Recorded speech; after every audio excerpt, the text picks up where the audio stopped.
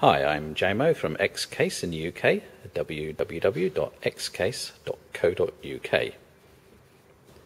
We're a provider of PC cases, rack mount cases, and we also custom build servers.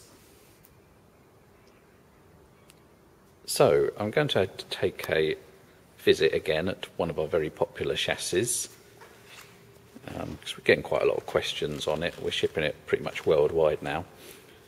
And so I thought I'd just do a video just to go over the features again and answer a few questions at the same time. Um, just so you know, this is our build room.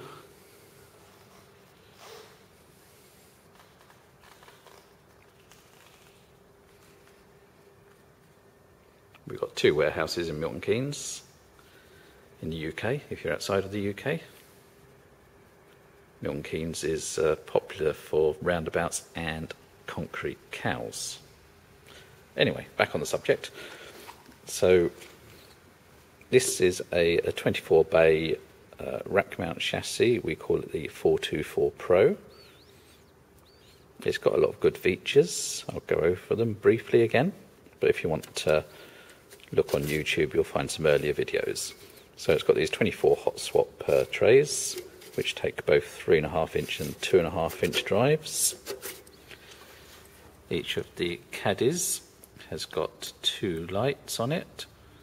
Uh, depending on what RAID card or HBA card you'll use, they have different functions, but as a rule, the blue one at the bottom will stay on constantly, and the amber one at the top depending how you set the jumpers, will flicker away either if your drives have got a problem or with drive activity if you're not using SGPIO.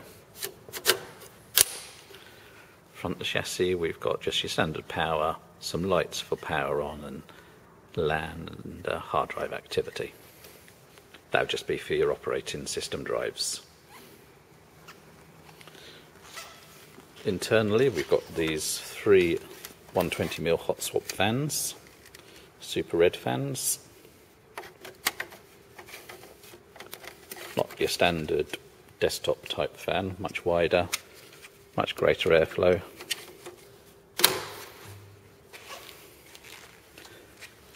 The drives themselves can be uh, SATA or SAS or SSDs. As I said, the caddies will take 3.5 inch and 2.5 inch drives. The back planes, there's two of them for the 24 drives. Each one's got three mini SAS connections and is powered by three Molexes. Now, depending whether you're using a HBA card or a card that supports SGPO, SGPIO, sorry, or not depends on the jumper settings. If you're not using an SGPIO uh, card, then simply remove the top jumper on each backplane and that will disable the SGPIO. All that will do then is change the drive activity so the blue one will stay on constantly at the bottom here and an amber one will flicker away for drive activity. In SGPIO mode, the blue one will flicker away and stay on with drive activity, and an amber one will show up for drive location and faults.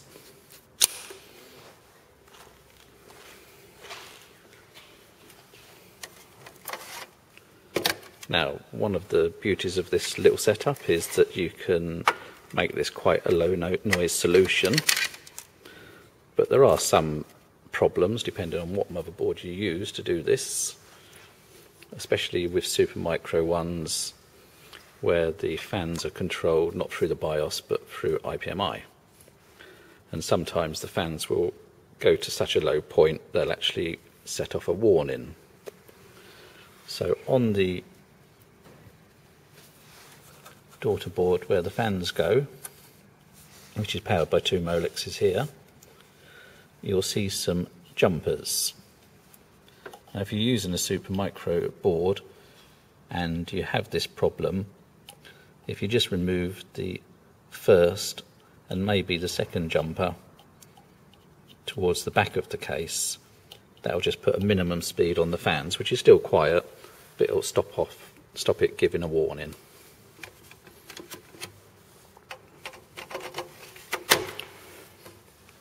Now, when people are building these, um, they often ask about the cables.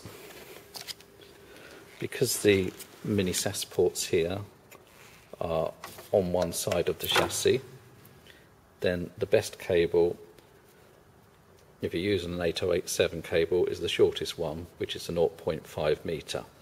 If you get a 0.6 or a 1 metre, then you're going to have lots of excess cable. Power supplies, it will fit a 2U redundant. This is an FSP unit, but it'll also takes zippy ones. And the case comes ready bracketed up for a 2U redundant, but you can remove this bracket.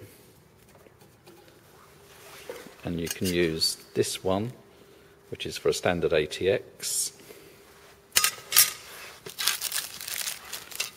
or this one, which is for a standard non-redundant 2U.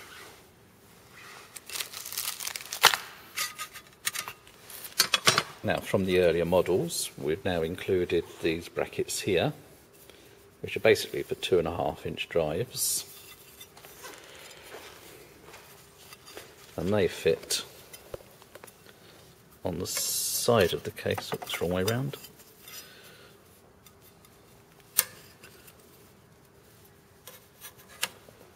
On the side the case there with your drive attached, and you can put two of those in. So you can have a, uh, a mirror RAID perhaps for your uh, operating system.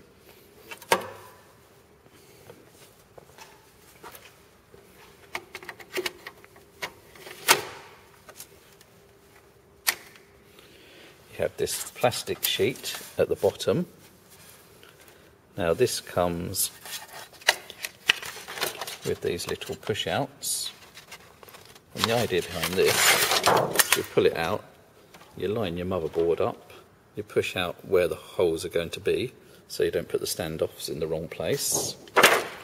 Take the tape off the back and then stick it down onto the floor of the chassis and that will help um, prevent any electricity between the bottom of the motherboard and the uh, plate here. The chassis's got seven expansion slots. You can fit two 60mm rear fans to it if you so wish.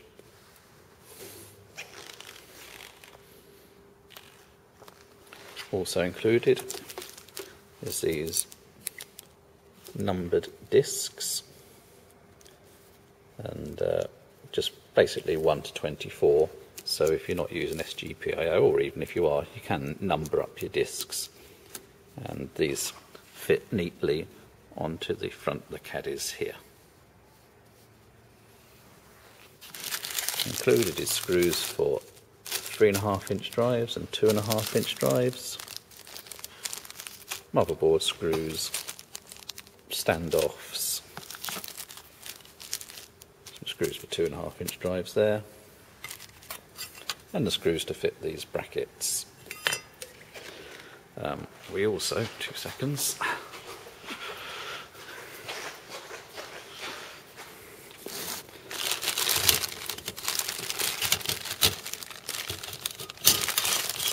now do a BBU bracket, which will fit a LSI BBU 08, 09, as they don't fit directly onto the RAID cards.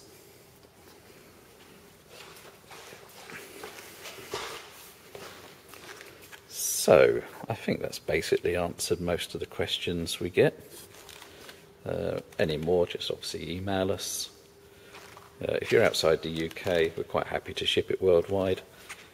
And we're also um, building up everyday systems in these. So if you want one custom built one to specification, then just ask for a quote. Right then, that's it. Thanks very much for listening.